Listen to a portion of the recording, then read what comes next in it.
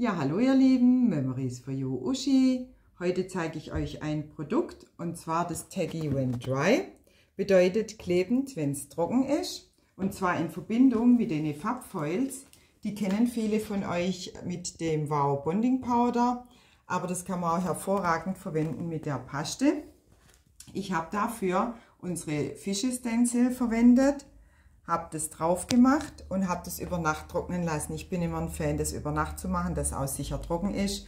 Ähm, wenn ihr das ausprobiert, es ist sicherlich in zwei, drei Stunden trocken. Je nachdem, wenn ihr es föhnt, vielleicht noch ein bisschen schneller. Aber ich mache das immer über Nacht und arbeite dann am nächsten Tag weiter. Die Farbfoils, wer sie noch nicht kennt, das sind so ganz dünne Folien. Und ihr schneidet euch da einfach immer so viel ab, wie ihr für euer Projekt braucht. Ich habe das hier gemacht, ein Stück abgeschnitten und dann ist einfach nur wichtig, dass es nicht so rum auflegt, sondern praktisch mit der Farbe nach oben. Und dann mache ich das jetzt einfach über den Fisch drüber.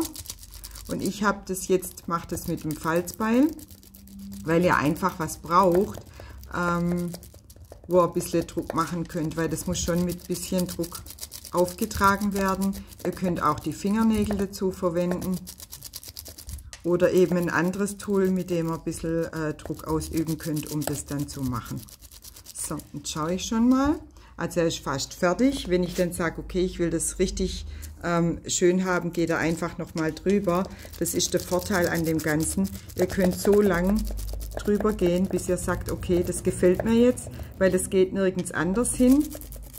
Also man muss da nicht aufpassen, dass das woanders bleibt, sondern das hält tatsächlich nur da, wo eure Paste war. Jetzt ist der Fisch fertig, ihr seht's. Und der glänzt richtig schön. Sieht man das im Video? Ja, ja, hervorragend. Und da könnt ihr auch super zum Beispiel die Sprüche-Stencil verwenden, wenn ihr die richtig gut rausbringen wollt. Ihr könnt es mit dem Pinsel machen, wenn ihr sagt, ich möchte so einen Grunge-Effekt haben, dass ihr einfach die Paste mit dem Pinsel auftragt und nur so, so einzelne Metallic-Striche macht. Also da ist äh, der Fantasie keine Grenzen gesetzt. Aber ich finde es toll, dass man da auch die Möglichkeit hat, einfach was hervorzubringen mit der Paste. Sie ist im Angebot momentan, solange die Kreativa noch läuft, also bis Sonntag.